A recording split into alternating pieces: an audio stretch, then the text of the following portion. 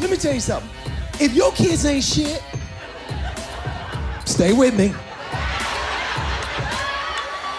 If your kids ain't shit, you should have to suffer through your kids not being shit by yourself. You understand?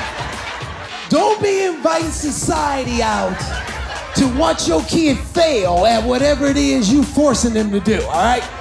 First of all, don't set your kids up to do shit you know they're not gonna be good at. First up, that little fat ballerina. You know who I'm talking about? You know who the f- I'm talking about.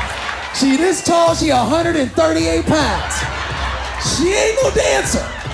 She ain't got a dancer's body. It ain't gonna work out for her. You understand? She is a linebacker. You understand? Let's get her future started today. You hear me?